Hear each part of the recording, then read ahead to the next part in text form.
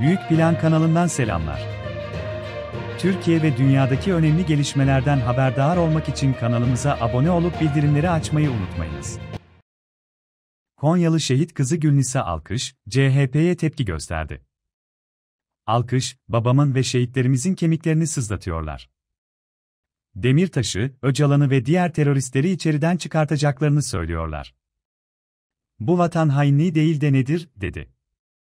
Karamanoğlu Mehmet Bey Üniversitesi Sosyal Güvenlik Bölümü öğrencisi Gülnisa Alkış, annesi Esengül Alkış kendisine hamileyken babasının şehit düştüğünü belirterek, babam şehit düştükten 7 ay sonra dünyaya gelmişim.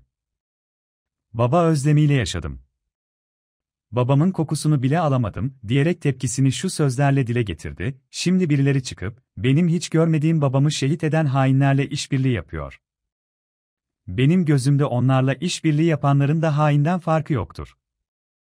Bu artık seçim değil, vatan meselesi haline geldi. Bu ülke patates ve soğana tercih edilemez. Ben gerekirse aç kalırım ama vatansız kalamam. Ben de Z kuşağı dediklerindenim. Benim yaşıtlarımın da önce vatanını, milletini düşünmelerini istiyorum. Benim annem kapalı olduğu için askeriyenin içindeki babamın cenaze törenine bile alınmamış. Ama şimdi her yere girebiliyor. Bunları göz önüne alsınlar. Şehit ailelerine saygısı olmayanlar ülkeyi nasıl yönetebilirler?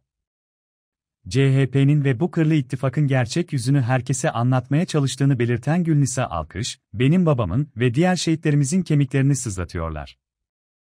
Demirtaş'ı, Öcalan'ı ve diğer teröristleri içeriden çıkartacaklarını söylüyorlar. Bu vatan hainliği değil de nedir? Bunların nasıl bir insan olduğunu arkadaşlarıma, çevreme anlatmaya çalışıyorum, anlatmaya da devam edeceğim, diye konuştu.